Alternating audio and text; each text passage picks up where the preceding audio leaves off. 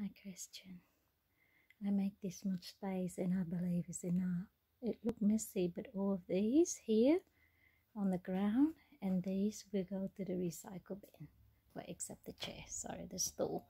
The point is all these boxes here, the paper box will go, my work, a notebook will go, most of these will go.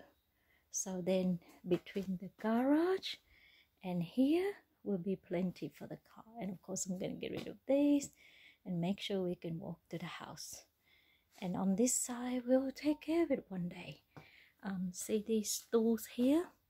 If you remove these, there will be my dresses and also your Vietnamese and my Vietnamese wedding dress and pants and clothes under there, okay? Under the water windmill and all that. Okay, love you so much. Bye.